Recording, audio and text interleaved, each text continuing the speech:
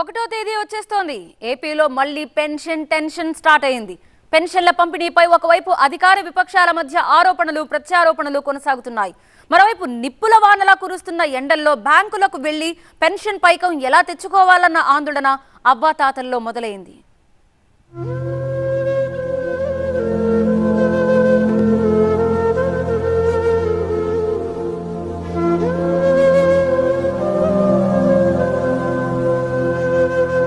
అమ్మో ఒకటో తారీఖు. ఏపీలో మళ్ళీ పెన్షన్ టెన్షన్. అవ్వతాతలకు పింఛన్ కష్టాలు. అధికార విపక్షాల మధ్య మాటల యుద్ధం. పెన్షన్ల పేరుతో రాజకీయం వద్దంటున్న అధికార పక్షం. ఏపీలో సుమారు అరవై ఆరు లక్షల మంది లబ్ధిదారులు పెన్షన్ పొందుతున్నారు. మార్చి ఒకటి వరకు ప్రతి నెల వాలంటీర్లు ఆ లబ్ధిదారుని ఇంటికి వెళ్ళి ఆ పెన్షన్ అందజేసేవారు. సీఎం జగన్ ప్రభుత్వం అధికారంలో వచ్చినట్టు నుంచి మొన్నటి మార్చి ఒకటో తేదీ వరకు ఇదే విధానం నిరాటంకంగా అమలైంది. అయితే ఎన్నికల కోడ్ అమల్లోకి వచ్చిన నేపథ్యంలో పింఛన్ల పంపిణీతో సహా సంక్షేమ పథకాల అమల్లో వాలంటీర్లను వినియోగించరాదని వారిని పూర్తిగా పక్కన పెట్టాలని ఎన్నికల కమిషన్ ఆదేశాలిచ్చింది. దీంతో లబ్ధిదారులకు కష్టాలు మొదలయ్యాయి.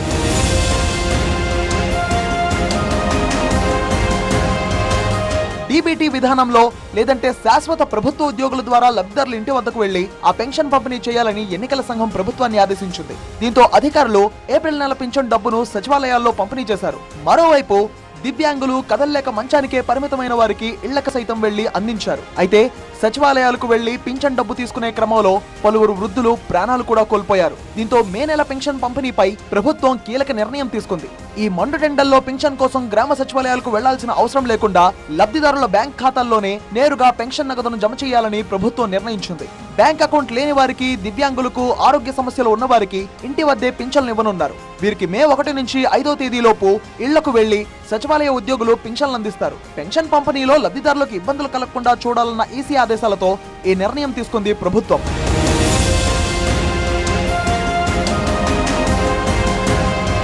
గత నెలలో సచివాలయాల్లో డబ్బు తీసుకున్న లబ్ధిదారులు ఈసారి బ్యాంకులకు వెళ్ళక తప్పని పరిస్థితి. అయితే పెన్షన్ అందుకుంటున్న వారిలో చాలా మందికి బ్యాంక్ ఖాతాలు లేవు. దీంతో డీబీటీ ద్వారా బ్యాంక్ ఖాతాలకు నగదు బదిలీ ఎంతవరకు సాధ్యమన్న ప్రశ్న వినిపిస్తోంది. మరోవైపు అన్ని గ్రామాల్లో బ్యాంక్ సదుపాయం ఉండదు. దీంతో మండు టెండల్లో ఆటోలోనో బస్సులోనో పక్కూరో లేదా పట్టణంలోని ఆ బ్యాంకులకు వెళ్ళి ఆ పెన్షన్ మొత్తాన్ని తెచ్చుకోవాలి. దీంతో లబ్ధిదారులకు ఇబ్బందులు తప్పేలా కనిపించడం లేదు. అయితే ప్రభుత్వం కుంటి సాకులతో లబ్ధిదారులను ఇబ్బంది పడుతుందని ఆరోపిస్తున్నాయి ప్రతిపక్షాలు. లబ్ధిదారుల బ్యాంక్ ఖాతాల వివరాలు లేవని గత నెలలో చెప్పిన ప్రభుత్వానికి ఇప్పుడు ఎలా వచ్చాయని ప్రశ్నించారు చంద్రబాబు. లబ్ధిదారులకు ఇంటి వద్దే పింఛన్ల పంపిణీ చేయాలని డిమాండ్ చేశారు. ఎన్నికల సంఘం చెప్పినా రాష్ట్ర అధికారులు వినే పరిస్థితులు లేకుండా పోయిందని మండిపడ్డారు.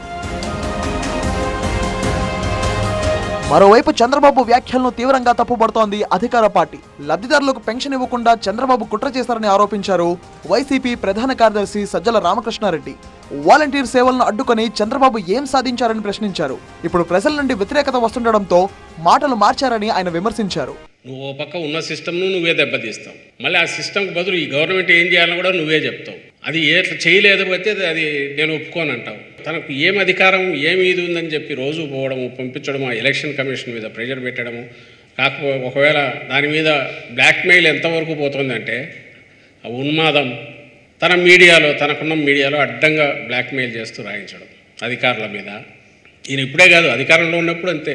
వృద్ధులు వికలాంగుల సంక్షేమం గురించి ఏ రోజు ఆలోచించని చంద్రబాబు ఎన్నికల నేపథ్యంలో పెన్షన్ల పేరుతో రాజకీయం చేస్తున్నారని మండిపడ్డారు వాసిరెడ్డి పద్మ. లబ్ధిదారులకు ఇళ్ళ వద్దే పెన్షన్లు అందకుండా చేసింది చంద్రబాబు కాదా అని ప్రశ్నించారు. అధికారుల మీద ద్వేషంతో ఇష్టం వచ్చినట్టు మాట్లాడుతున్నారని విమర్శించారు.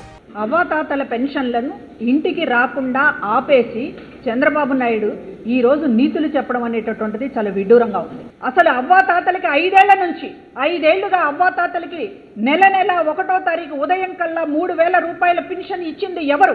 దేశంలోనే ఎక్కడా లేనటువంటి విధంగా మూడు వేల రూపాయల పెన్షన్ అనేటటువంటిది అందజేసినటువంటి ఒక గొప్ప ప్రభుత్వం జగన్మోహన్ రెడ్డి గారి ప్రభుత్వం కాదా? ఎలక్షన్ కమిషన్ సూచనల మేరకు బ్యాంక్ అకౌంట్ లోకే మే ఒకటో తారీఖున జమ చేయాలనేటటువంటి ప్రయత్నం చేస్తుండటంతో ఈ రోజున దాన్ని మళ్ళీ ఒక రాజకీయానికి ఉపయోగించుకోవాలనేటటువంటి ఉద్దేశంతో చంద్రబాబు మాట్లాడినటువంటి మాటలు నిజంగా ఈ మనసున్నటువంటి మనుషులు ఎవరైనా మాట్లాడతారా ఈ రకంగా అనిపిస్తోంది?